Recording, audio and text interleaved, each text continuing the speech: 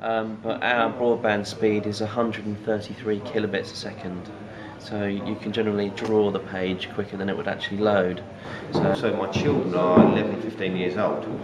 Now what I've found is now a lot of uh, their studies, their work, their environment, their social media is all done by the internet.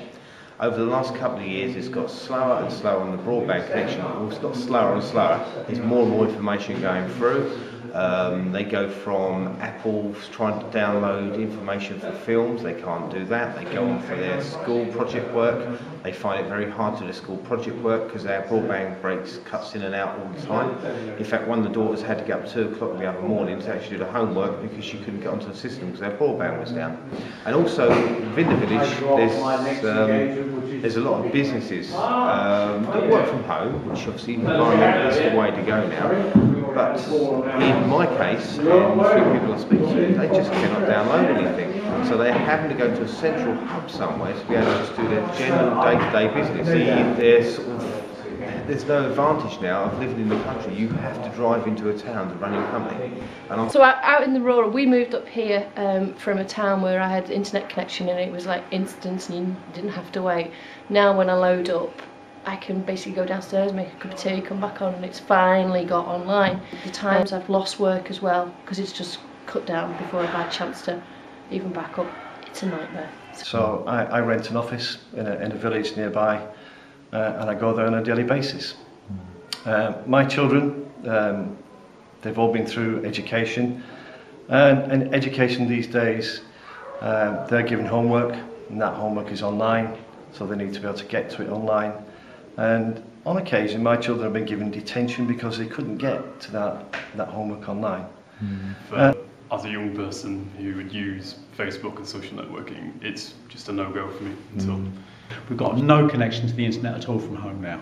Um, or there, well, there is a possibility of a, a, a dial-up service, but you're talking like four pence a minute for something that's going to take you hours to download per page. So it's it's just not viable, really. So what I'm doing now is either coming five miles down here to sit outside the institute in the car with a laptop, or I've got a Wi-Fi dongle, drive around, find a signal up the hill. Um, and that's about the best I can do. So you become a second-class citizen, really. You- you- You're excluded from a lot of things that, that anybody that's connected to to um, broadband can get onto. I mean, you get on to try to find BT because there's a problem with the landline, and they said it's much quicker to contact us online. Well, no, it isn't. As a farmer, most of the farming paperwork now is going online, yeah. which you know we don't have a chance of doing really. On it's just not possible when it's and it's getting more and more like that each year, and it's there's no way to go about it. I edit books, um, pilot books for, uh, for sailors in, in, in Scotland. There's about five books which are either going to publishers or printers, and they're quite big files, um, gigabyte or more, sometimes two gigabytes. And of course it means putting it on a disc and coming down to the post office and posting it off and then waiting for one to come back and all that stuff. So uh, as things get more technical and the, the, the pages get more complicated and the, and the programmers that write the pages get lazier and lazier because they assume that uh, people have got a good connection, it, it just does become almost unworkable even for ordinary everyday use. I mean, my phone line apparently has been in since 1936, the main one. So, and my phone line comes off that into the valley, and it's been broken several times, so it's not very good anyway. And I'm absolutely cross, to put it politely, because every advert, everything on the television says, go to our website, do this. I would like to research my family tree. I haven't a cat in hell's chance. The, the response from the community was exceptional. We had 220 people here, uh, much more than what we expect. We expected about 150. Uh, as has been said, it was very passionate, very emotional. The feelings are very strong. There's a lot of anger, but there's also a lot of frustration in the village. Uh, we are aiming, hopefully, to get a very efficient, fast broadband connection in the village. We, we hope within a year. Whether that's possible, I don't know. people in the village uh, I know of work commitments that they can't uh, carry out work commitments because they can't get a, a good broadband connection.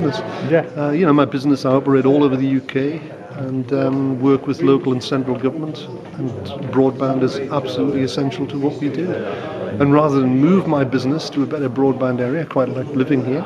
So uh, you know, if we can improve the facilities here for us, then maybe we can improve them for other people as well. And essentially, our business wouldn't be here if we didn't have um, the internet. And because we have Wi-Fi here, it's also become a, a hub for people in the surrounding area who can't get broadband. They come here and they use it. So they'll come with their laptops and have a cup of coffee and, and you know can get online. And they're very grateful that they're able to do that. You know, we, Everything is online, and we can't go online. And it seems to me that we're not we're not remote. I hear stories about being able to get signals in other parts of the world that are stronger than ours. There's no way I can do my video business with this kind of broadband speed. Now, to give you a couple of examples, I have got uh, one of my DVDs does need a little bit more promotion than uh, I could give it. And the obvious thing, an American friend of mine said, "Oh, you want to put it online?" you know, and, uh, and everybody will then download it for a micropayment. I said, absolutely no way can I even consider doing that. Anything that needed sort of uh, fast speeds, well, I had to either go back to my campus at Hartlepool, which is like a 75 mile round trip, or uh, go to an internet cafe, which are noisy and you can't work in those places. So for for three years, I found it very, very difficult. Um, very tiring, very costly.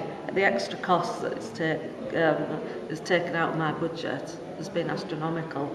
And, you know, I can't get anything. I mean, you, you mentioned Skype earlier. Mhm. I can't get that. You know, it just doesn't connect. Um, it's appalling. Because Um, if you can't get online to, to get into the government uh, bodies, you, you need your passwords and things to do it yourself, then you've got to go somewhere else, um, which is obviously time, effort and fuel costs at this. Uh, poor broadband connection, we don't have any. Um, we run a, a, farming business. Uh, I have two kids who, who need to be able to do uh, homework online. Uh, I have uh, all the personal things that we do on the internet.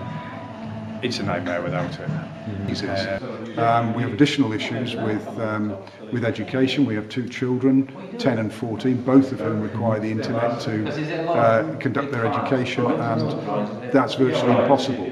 Uh, we also have difficulties when we have more than one uh, piece of uh, equipment operating. Uh, again, it can freeze and go off.